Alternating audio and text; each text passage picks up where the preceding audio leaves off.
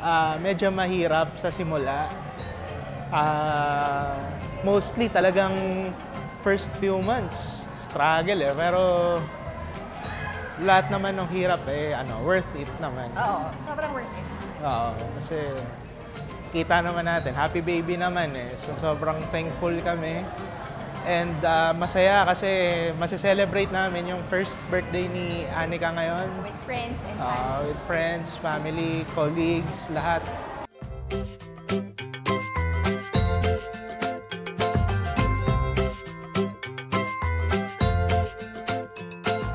Let's get together. We can talk about the weather, almost anything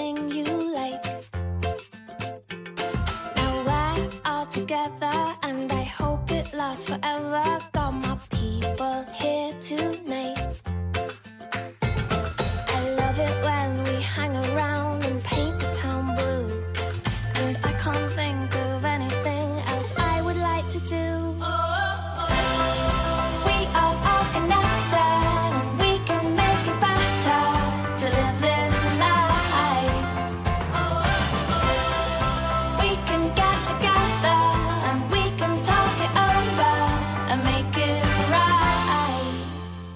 Anika kasi rainbow baby namin yan. So, um, after rainbow baby kasi, baby siya after a miscarriage. So, kaya super happy, more than happy kami nung dumating siya. Unexpected rin.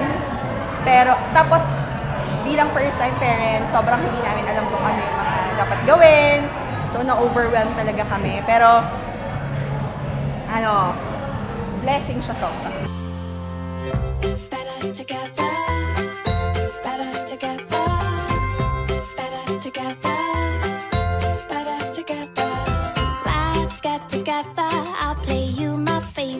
and we'll dance into the night. Now we're all together. I'm so happy to have met. You are just the ones I like. We are all connected, and we can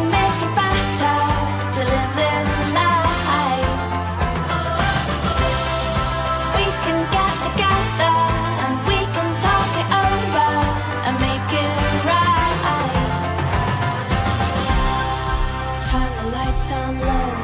I wanna take it slow. I wanna let go. Let the sun rise high. I wanna see how we can make our spirits fly.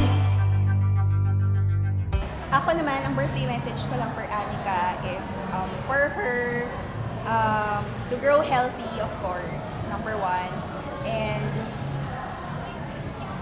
Huwag kakalimutan si Lord and yung parents and family. And we're here naman to support her all the way. So, yun lang. Ah, sana maging God-fearing ka, anak. Ah, polite, palaging polite, courteous. And yun nga, ah, be a blessing to others. Yeah. We are all connected, and we can make it better to live this